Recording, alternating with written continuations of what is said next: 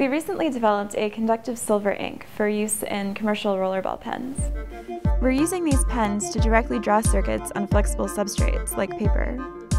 The lines it produces are about 1 millimeter wide, so it is highly compatible with surface mount or through hole components like resistors, transistors, and LEDs.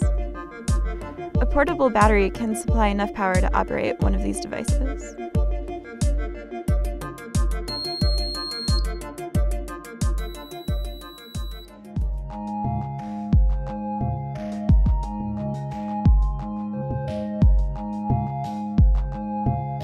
Ink is composed of silver microparticles, water, and a cellulose binder.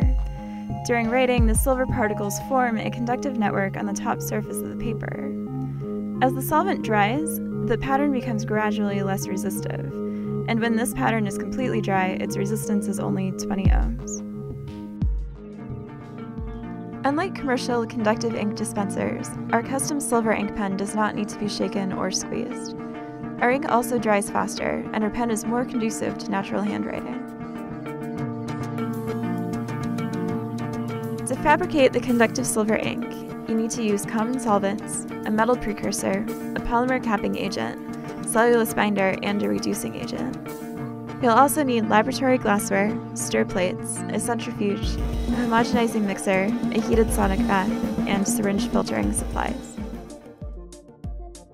First, we disperse an aqueous solution of silver nitrate into a flask of water, polyacrylic acid, and diethanolamine. The silver nitrate quickly dissolves, and over a period of 20 hours, the particles grow to a diameter of 5 nanometers.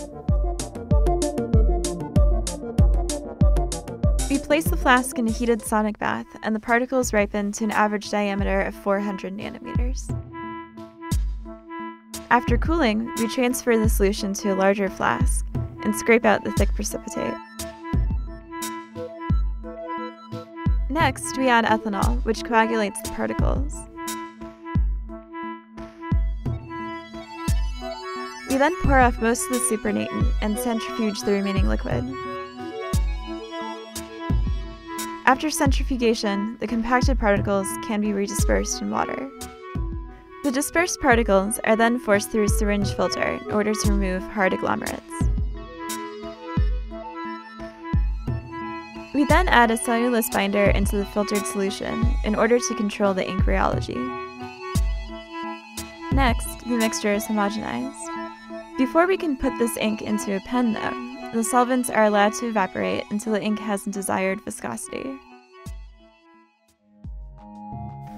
After dismantling a commercial rollerball pen and washing out the original ink, we can fill the reservoir with our custom silver ink using a flat-tipped spatula. We then replace the rollerball tip and a couple blasts of compressed air force the ink into the tip. We slip on the outer cover and now we're ready to write.